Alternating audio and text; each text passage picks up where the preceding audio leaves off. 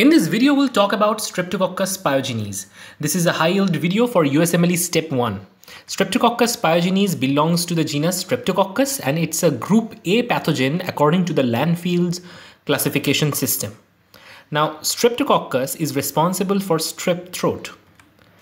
In a free-living bacterial kingdom, you can see gram-positive and gram-negative bacteria based on gram staining classification. Under the gram-positive bacteria, there are cocci and there are bacilli. Cocci are actually round and ball-like shaped organisms, whereas bacilli are rod-shaped. Among the cocci, there are several subtypes, and streptococci belongs to one of them. Streptococci me means there are a kind of like a lineup of small sphere-like structures that can be clearly visible under the microscope. So you can see a chain of these balls under the microscope and they stain uh, positive for gram stain so they are violet in color. Streptococcus pyogenes is one of the most frequently encountered bacterial pathogen worldwide.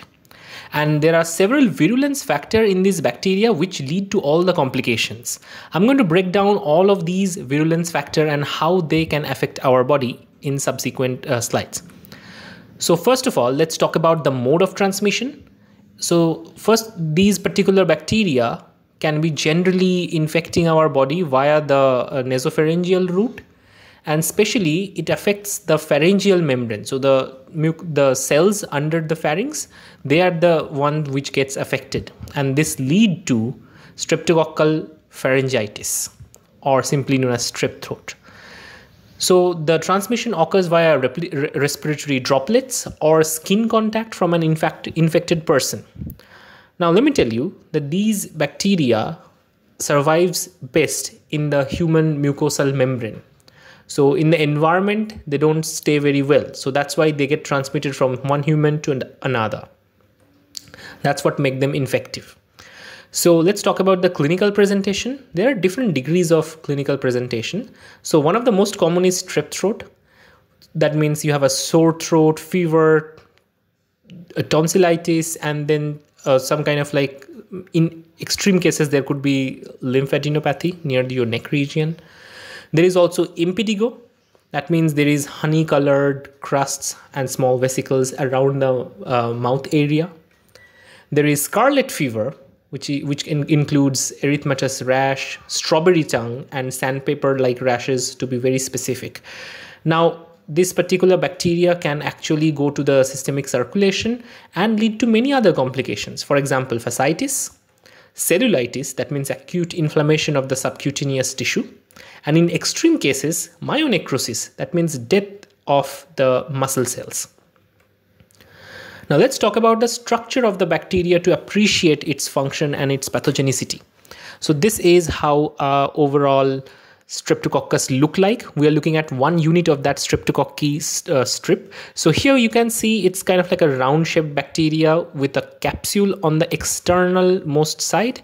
Then there is cell wall plasma membrane and most importantly there is a protein known as m protein which is important for virulence there are lipoteichoic acid and invasins are very common in these bacteria. Invasins like streptolysins, streptokinases, proteases are responsible for the pathogenicity.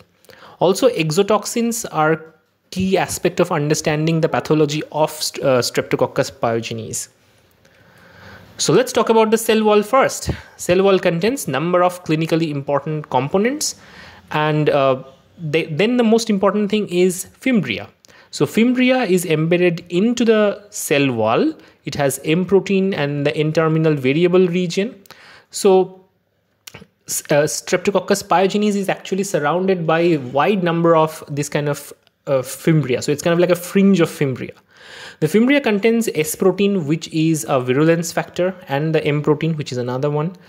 So M protein is highly variable, especially in the N-terminal region shown here. And that, that leads to different kind of uh, antigenic response for these bacteria.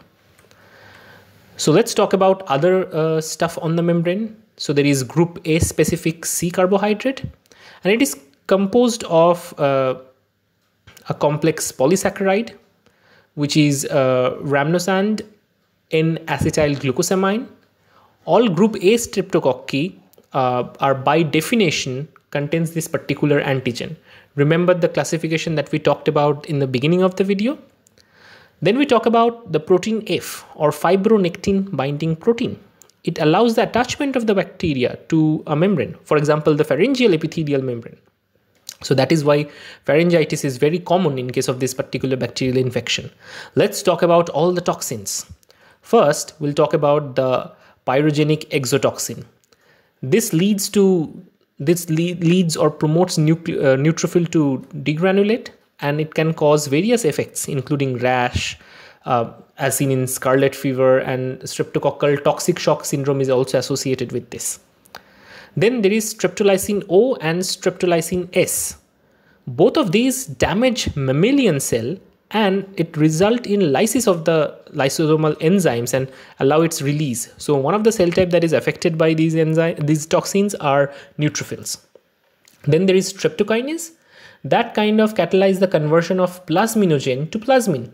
This got uh, this leads to the uh, lysis of clots and facilitate the rapid spread of these organisms. Also, it blocks the complement system by blocking the C5a peptidase. So basically the complement system is broken down so bacteria can evade the first line of defense. Also, it has hyaluronidase which can break the hyaluronic acid chains. Thereby, it can remodel the extracellular uh, space and it would allow the rapid spread of these organism. Then there is uh, streptodNAs. So these DNases uh, degrade the uh, various part of the genome. So basically, it allows basically the rapid spread of the uh, bacteria inside the host body. The complications include rheumatic fever, which is basically a, similar to an autoimmune condition with severe joint pain, and then there is uh, post-streptococcal glomerulonephritis. All these complications are not found in every patient, but this is also case-specific, patient-specific. So which lead to uh, neph uh, nephritis and overall kidney-related problems. As this is a bacterial infection, it can be treated with antibiotics. Choice of antibiotics include penicillin and amoxicillin. If the person is in, uh, allergic to penicillin, then there are other antibiotics which can be possibly used. So then uh, basically other treatment option includes replenishing the body fluid and electrolyte. Sometimes IV drip of the fluids can be used, uh, useful as well. Okay, get notes and flashcards in our uh, Facebook page and Instagram. Links are provided in the description. You can support our channel using PayPal, Paytm or UPI. See you in next video.